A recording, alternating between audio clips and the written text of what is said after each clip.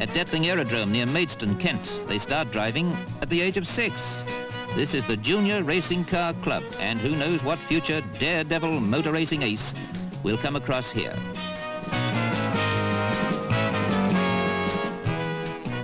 They drive the new Formula 6 racing car, the midget motor that is powered by a lawnmower engine, 110cc capacity.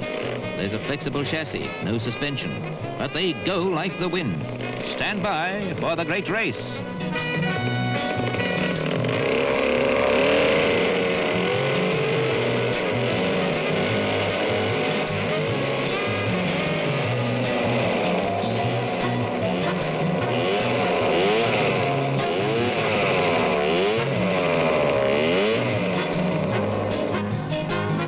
Usually the ton-up tots have speed tests over a given circuit rather than races.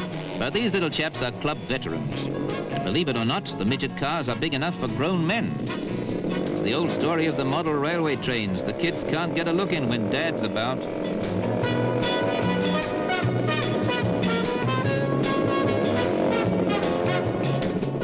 Tom Barnard, who designed this 150 pounds car, hotly pursues Tom Barnard Jr., his seven-year-old son, who started driving a full 12 months ago.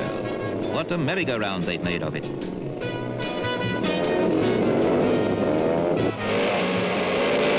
It only needs a little boy's imagination in good working order to convert an old aerodrome like this into Brands Hatch.